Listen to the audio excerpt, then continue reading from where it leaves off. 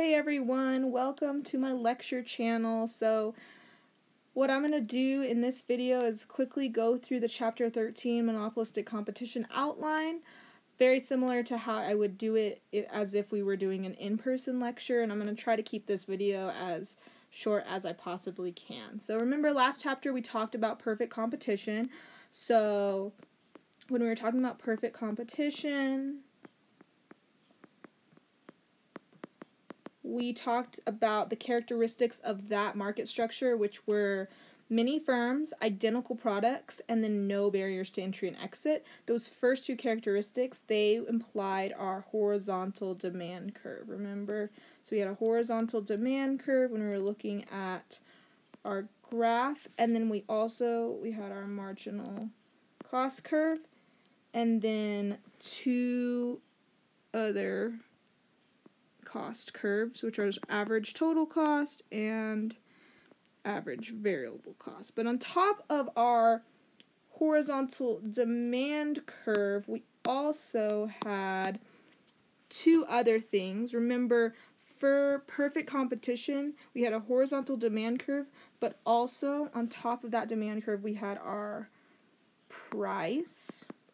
Demand equals price, and then we also had our marginal revenue curve. So the horizontal demand curve is very unique to perfect competition. But in this chapter, we're going to actually be talking about monopolistic competition. So what's special about monopolistic competition, we'll see later on, is the fact that it actually has a downward sloping demand curve similar to what we'd be used to graphing back in chapter 3. So when we're thinking about a monopolistically competitive market, we have three characteristics we want to talk about. One being many firms. So just like perfect competition, we have many firms in this market structure. The special thing about monopolistic competition is the differentiated products.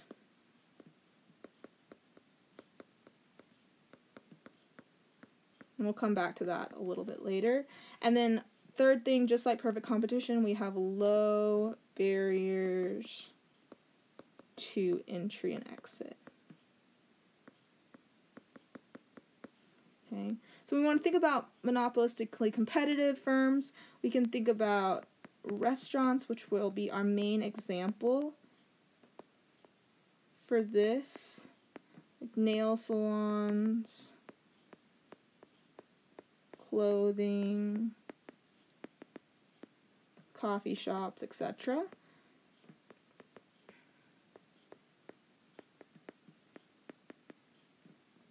Okay. So, when we think about monopolistically competitive, the key thing we want to remember is the fact that they have differentiated products.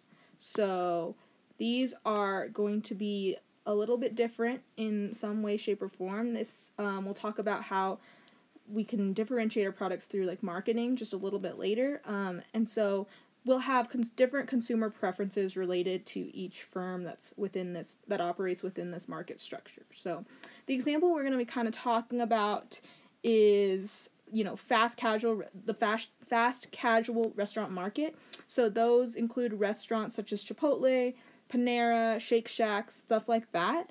But when we think about these types of um, restaurants, you know, the consumers will actually tend to prefer one type of sandwich over another type of sandwich. So in this case, we're going to talk about Panera. So if you prefer Panera over um, Chipotle or another type of fast casual restaurant, um, what will happen is if Panera, um, you know, raises its price, some but not all of its customers are going to be switching from from Panera to start buying their sandwiches elsewhere.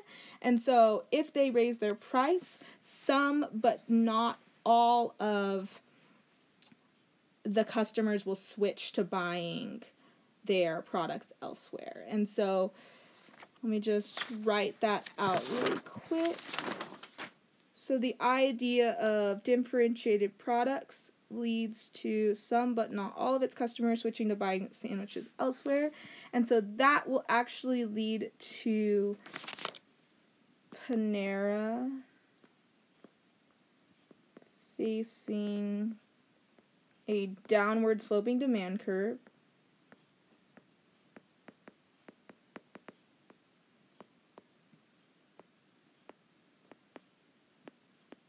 Okay. And it will also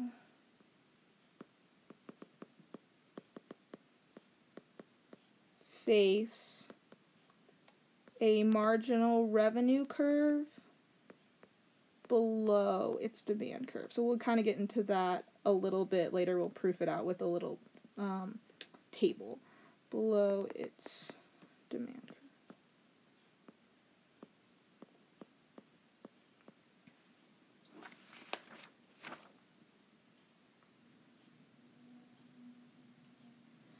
So what that will look like when we look at it on a graph, something like this. So we're going to have a downward sloping demand curve, and then we'll have a marginal revenue cur curve that it's steeper than the demand curve and below the demand curve. And really kind of talking about the theory behind why um, we have a downward sloping demand curve is because essentially as the price um, let's think about the opposite. As the price decreases for a sandwich panera may sell more sandwiches overall. So revenue may increase due to the extra sale. However revenue also may decrease because of the reduced price on all sandwiches overall. So over time, this price effect or the decrease in revenue is going to become larger. Therefore, we're going to have um, this downward sloping demand curve and a marginal revenue curve below the demand curve. So for an MC firm, they actually have the ability to affect price of product it sells.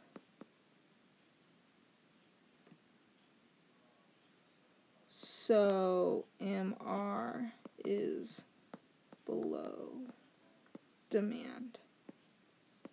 Okay. So now let's look at kind of the numbers behind this. So if I were to actually look at this table, which kind of talks that shows the quantity of sandwiches, the price of sandwiches, and also total revenue. So we've calculated total re revenue by taking the price times the quantity, and then we can also look at marginal revenue. So the key things we want to think about here are demand and marginal revenue. So we can find our demand curve, which is shown right here.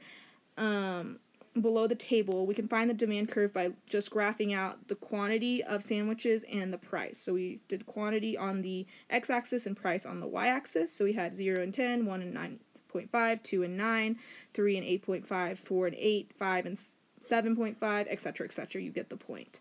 And then we also are able to calculate our revenue and then look at what our marginal revenue is going to look like. So this is where I would ask y'all again, um, you know, what does the word marginal mean? Marginal means extra. So how would we find the marginal revenue?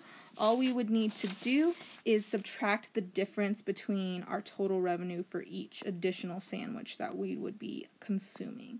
So for the first one, we wouldn't have any, but for the second one, um, difference between 9.5 and 0 is 9.5, so $9.50. 18 and 9.5 would be 850 750 650 550 and then 450 so when we're looking at that, let's go ahead and just graph our marginal revenue. Again, so with one sandwich, our marginal revenue is, now we're going to graph it in red. Marginal revenue is 9.5. Okay. Um, for the second, it's 8.5.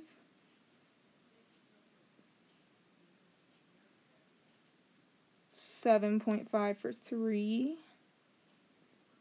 something like that. Six point five for four.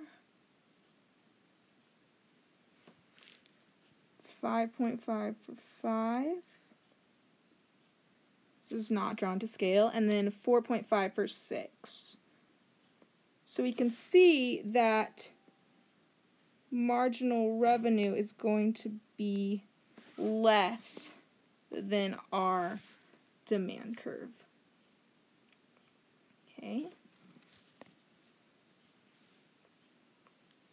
So now that we've kind of gone over, you know, what our demand curve looks like and why it looks like that for a monopolistically competitive or MC firm, now let's talk about how does a monopolistically competitive firm maximize profit in the short run. So keep in mind that firms aren't just trying to maximize revenue. They want to maximize profit in the short run. So I might have said revenue earlier, but we want to think about how they're maximizing profit in the short run. So, um, again, to maximize profit, you have to think about marginal cost. So, marginal cost is that additional extra cost. And so, we want to think about what the profit maximizing quantity again was for both the PC firm and compare it to what the MC firm is going to be. So, Profit maximizing requires producing until the marginal revenue from that last unit is just equal to the marginal cost. So remember overall, I told y'all you need to remember this. Marginal revenue equals marginal cost. So really, really important. But for a PC firm, let's think about um, how, for a PC firm, what is equal to marginal revenue we have price also equal to marginal revenue. So, in order to fulfill the profit maximizing condition, we can say we're going to produce where P is equal to MC. Since price is equal to marginal revenue and we want to find where marginal revenue equals marginal cost, price is also going to be equal to marginal cost. However, for an MC firm, we're going to think about that price is going to be greater than marginal revenue. Because if we look at the demand curve, our price is going to be higher than marginal revenue. So, produce where price is greater than marginal cost. Okay. So again, as far as profit maximizing level of output, it's the exact same as what we talked about in a perfect competition firm. It's where MR equals MC.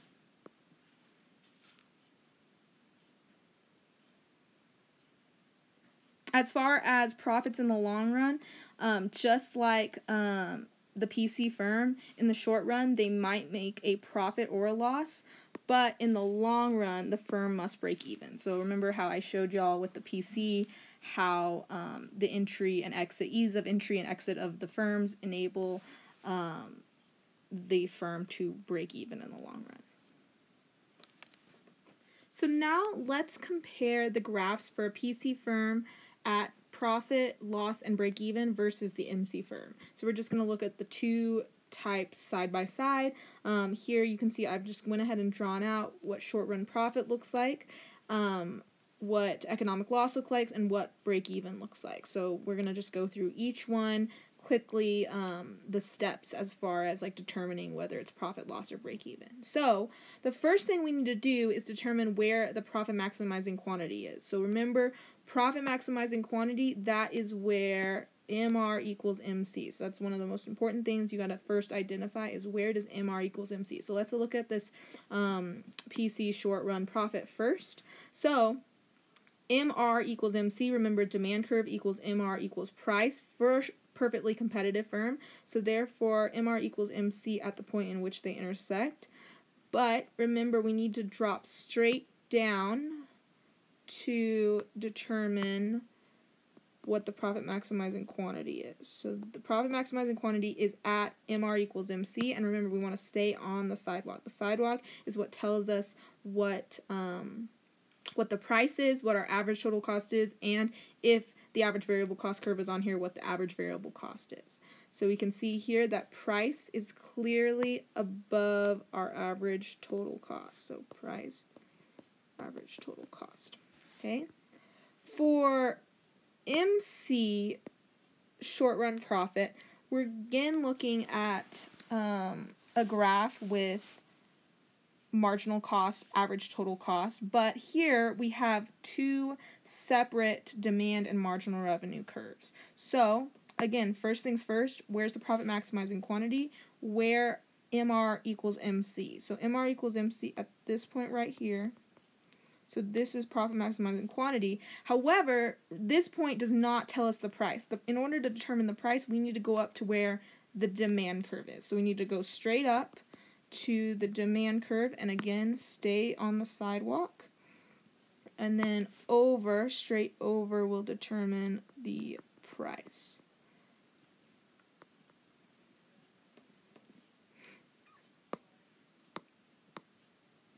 Okay. So now we're able to also determine the cost at that profit maximizing quantity, which is again staying on the sidewalk, locating where that is related to the average total cost curve, and then going over to determine our cost. So I'm just going to use C for cost. So we have price, and then we have cost. So here's our price here, and then our cost would be drawn over like this. So here we had our price is greater than our average total cost, and here again we have our price is greater than our average total cost. Okay, so now let's look at economic loss. So remember for an economic loss, our price is going to be less than our average total cost. So again, what's the profit maximizing quantity where MR equals MC? So MR equals MC at this point right here. So that's our profit maximizing quantity. Go straight up. And then we can also determine what our cost is. So here, cost is greater than price, or price is less than cost. And again, we're going to stay on the sidewalk. Okay. Sorry. Over here, for MC, again, identify the profit maximizing quantity where MR equals MC. MR equals MC at that point right there. So there's our quantity. Go straight up. Remember, we're going to use the demand curve to determine our price. Because remember, we have a downward sloping demand curve instead of a horizontal demand curve. So we have price here. And then we have our cost over here. So again, price is less than average total cost. So we have an economic loss. Stay on the sidewalk. Finally, we have our break-even point. So our break-even point is where price is actually equal to average total cost. Price is equal to average total cost. So MR equals MC is at this point right here, and that's also tangent to average total cost. So there's our profit maximizing quantity. Q. And our price and our average total cost are equal. Okay. For MC break even, again, profit maximizing quantities where MR equals MC. Go straight up, stay on the sidewalk. And our demand curve tells us what the price is. And then also at that point right there, our average total cost curve is tangent to our demand curve. So we have price is equal to average total cost.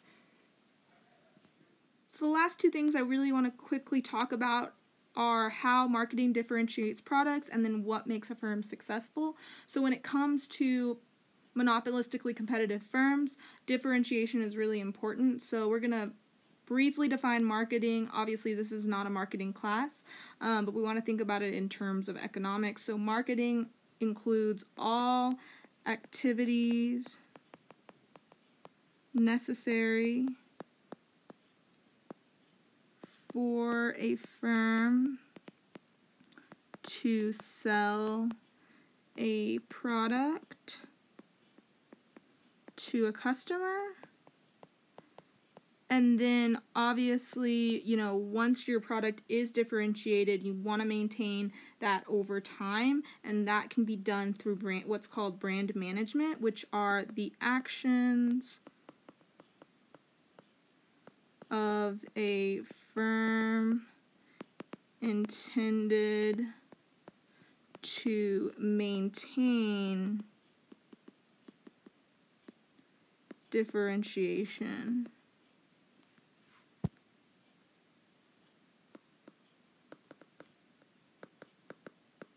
of a product over time.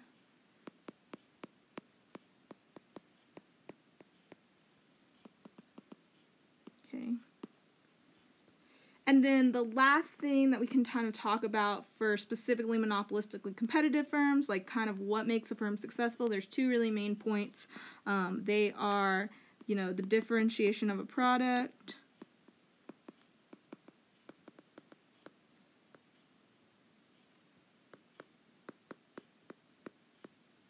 And then production at a lower average cost than competition.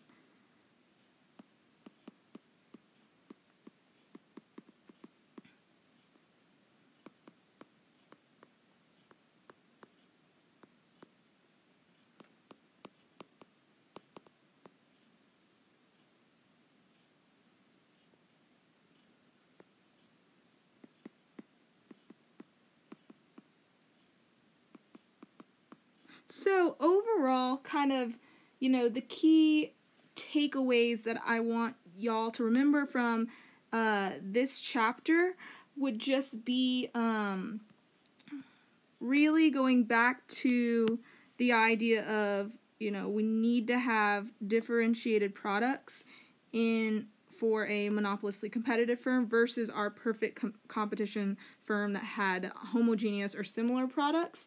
And then also, we want to think about how the differentiation enables a firm to affect the price of the product, which leads to a downward sloping demand curve.